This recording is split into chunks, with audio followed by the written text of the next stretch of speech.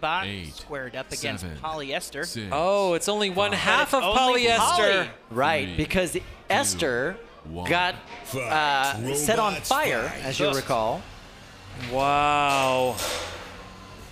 So these are two bots that have suffered massive flame damage in this competition today, and they are both limping into this fight.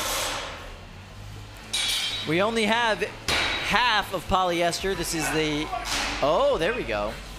Uh, this is the uh, the drum spinner half of Polly, polyester. Polly's, uh, Polly wants a cracker. Ah, there you go. Oh, no!